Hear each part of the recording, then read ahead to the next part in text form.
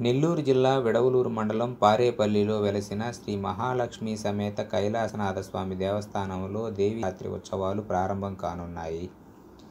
ఈ నెల ఇరవై తొమ్మిది నుండి అక్టోబర్ ఎనిమిది వరకు నవరాత్రులు అంగరంగ వైభవంగా ఆ- ఆలయ కమిటీ నిర్వహిస్తుందని అర్చకులు సత్యనారాయణ స్వామి తెలిపారు. అమ్మవారికి పల్లకీ సేవ రుద్రాభిషేకం విశేష పూజలతో అత్యంత వైభవంగా నవరాత్రి ఉత్సవాలు కన్నుల పండుగగా నిర్వహిస్తామన్నారు. భక్తులు అమ్మవారిని దర్శించుకుని తీర్థప్రసాదాలు సేకరించాలని కోరారు.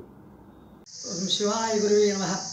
నమశివాభ్యాం నవయోనాభ్యాం నవయౌవనాభ్యాం పరస్పరాశిష్టబుద్ధరాభ్యాం నగేంద్రకన్యాభిషకేతనాభ్యాం నమో నమ శంకర పార్వతీభ్యాం శ్రీ కైలాసనాథ స్వామి కామాక్షిదాయి దేవస్థానము నెల్లూరు జిల్లా విడవలూరు మండలం విడవలూరు మండలం తాళ్ళపల్లి గ్రామం.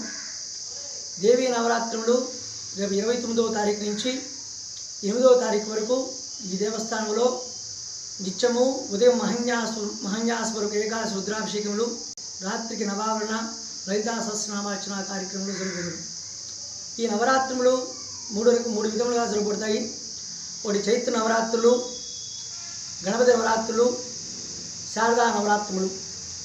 చైత్ర నవరాత్రులు ఈ ఆశ్వీయ ఈ శారదా నవరాత్రులు ఎవరైతే అమ్మవారిని ఆరాధిస్తారో వారికి అమ్మవారు విశేషమైన ధనధాన్య ఆయుధాలు తీసుకుని వచ్చి సదా కాపాడుతుందని పెద్దల ఉవాచ.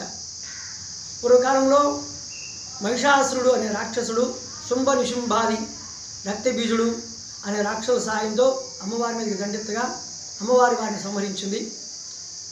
అందుకని మనలో ఉండే జ్ఞానేంద్రియాలు ఐదు కర్మేంద్రియాలు ఐదు ఈ పది పవిత్రమై అమ్మవారి అనుగ్రహం పాత్రగా అయ్యేదానికి ఈ పూజా కార్యక్రమం ఏర్పరిచారు. అందులో దాన్ని దసరా అనే పేరుతో పిలవడం జరుగుతుంది.